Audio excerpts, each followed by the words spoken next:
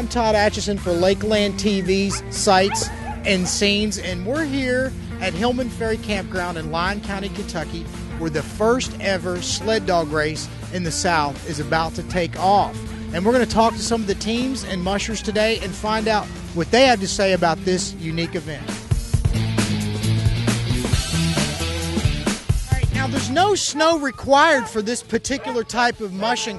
That's because it's called dry land mushing. And what they do is they use a cart like this with wheels on it. Some guys have modified bicycles and scooters, and others have really, really decked out pro type scooters. And the basic idea here is obviously to have these dogs be able to pull them on dry land where normally they would have snow. So, Chip, tell me some of the basic things that you cover in your basic keelboat classes. Well, we start off learning some terminology. And terminology is like talking Greek to some students that, that don't know anything about it, but they quickly pick it up, like port and starboard.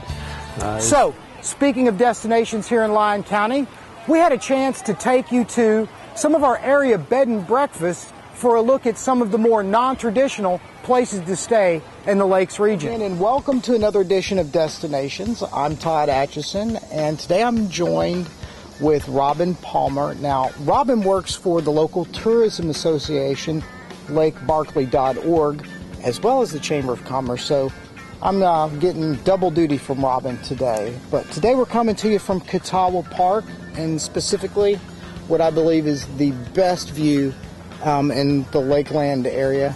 Robin, tell us a little bit about um, what you do for the association and maybe some of the events that are coming up. Well, Todd, what we do is we try to help local tourists as well as residents, show them where to stay, where to eat, you know, things like that, inform them about the area.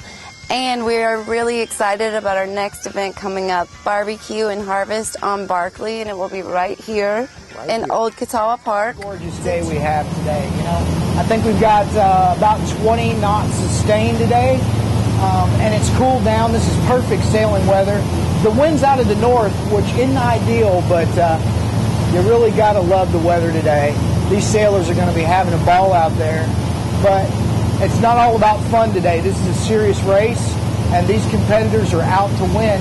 And we're going to get alongside them here in just a minute.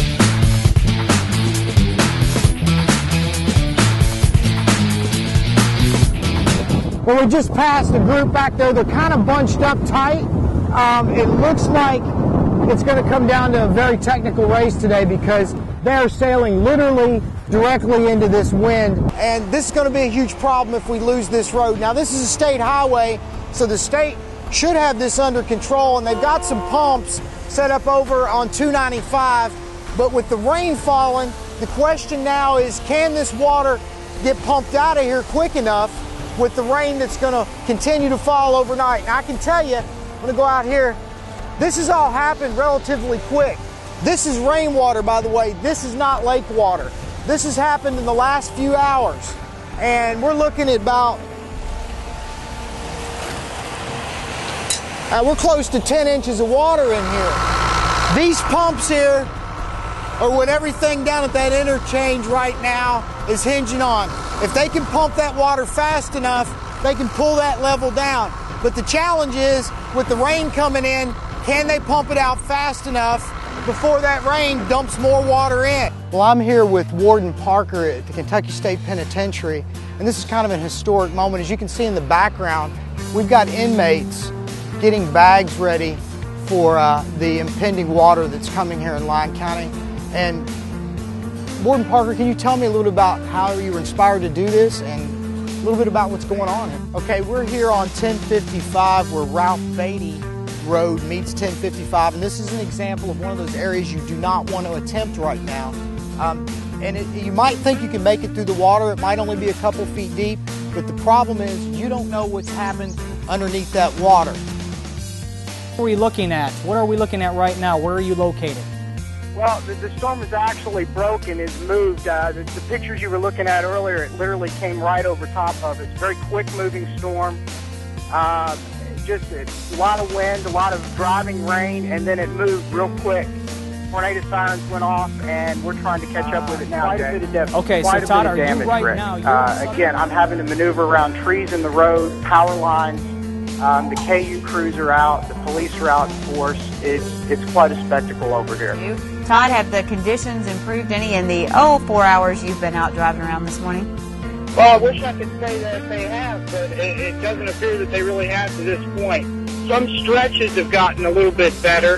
Um, I just got on um, the Watterson and expected it to be a little clearer than it actually is, and it's still pretty pretty treacherous. Yeah, you can't even uh, really see the roadway right now. No, there's a one. There's a, a nice groove in one lane, but the other two are, are pretty much solid. Are you I'm seeing? jumping on 65 here in just a second? Have, you- are you seeing Live on the uh, internet. uh, major backups? And uh, it's a historic first here on the uh, the fourth night, no, third night of the Republican National Convention. Um, waiting for the president. The president has arrived in the city. Uh, Local 6's dash cams certainly been busy these past few days, as has Snowman 6. And uh, we want to check in with, with Todd Atchison. This is the man who actually is out logging all the miles for us in the morning. And I was uh, speaking to you a little bit this morning about some of the things you have seen, and you just have some incredible stories. Absolutely. Well, I'll, I'll tell you the thing that has struck me more than anything in all my years of running a dash cam in some capacity somewhere, hurricanes, tornadoes, the breadth of this is just, it's overwhelming. And you know, usually when you go to cover an event, you can drive out of it. It's not the case with this. It's just more of the same, more of the same. Every community, every highway, it's the same image. Because you have been all over. I mean, when we were speaking to you just yesterday morning, you were in Mayfield and Murray and Benton and Kawa, and you were all over. Yeah, actually, my adventure started um, the parking lot uh, off of Kentucky Dam uh, about 11 o'clock on Monday night, and I just kind of continued with the storm. And again, the, the imagery just, a lot of it's haunting, you know, watching the lights go down in Mayfield. Um, you really don't understand how much you rely on, you know, the peripheral light or the ambient light that's around you until it's just gone, and that, that's sort of an eerie image that'll always stick with me. Well, it's Monday, the 24th of October, and they told us Wilma was over about an hour ago, but you would never know that here at Bonita Beach, where we're still getting significant wind gusts of up to 50 miles an hour. And let me tell you, the Gulf is kicking, guys. If you can see behind me, this Gulf of Mexico is really churned up. And I have to tell you, the winds are still phenomenal. for no fences for double live at 21 million albums for double live. Well, hello and welcome back to Harvest and Barbecue on Barkley, where I have Ann Blair Thornton, the reigning Miss Kentucky, with me. And what a thrill it is to have you here, Ann. I, Ann Blair. I understand we have to use both names. It's a Southern thing. It is a southern thing, yes. You have you got to have both the first and middle name, right? Yeah, absolutely. well, I have to ask first of all, have you had any barbecue today? I have not, but I'm looking forward to Oh, my gosh. some Will you go have some barbecue I with will. me in a little bit? I will, absolutely. All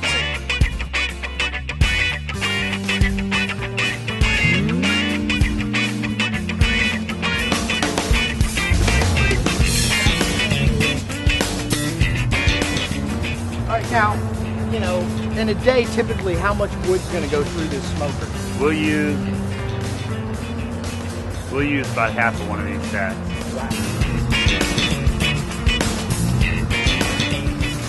This is a lot different from your typical backyard grill. This is actually a smoker, um, so the convection heat actually cooks the meat, and it's that smoky flavor that we're really going for. Right. Go Lions! All right, so I'm here at the student section at the Lyon County Lions first home game. Guys, we're going to kick some butt tonight? Yeah! All right! Let's hear it. Well, this game's about to get underway, so we'll bring you all the action in just a minute. It's truly a unique family destination. We also wanted to thank the folks down at uh, lakebarkley.org, Bo Choate, executive director, and his entire staff. If you're in the area looking for something to do, stop by and see Bo and those folks. They know all the destinations in Lyon County and can truly help you plan your day. Also wanted to thank the folks at Exit 40, um, all the businesses that are making this possible. So if you're in Lyon County, stop by Venture River, maybe head out to uh, Buzzard Rock, check out one of the other marinas in the area. Got Eddy Creek, Kuttawa Harbor, and Buzzard Rock, as you saw. Um, lots of unique destinations here in Lyon County. And we'll be bringing you more of those destinations on Lakeland TV. So keep watching.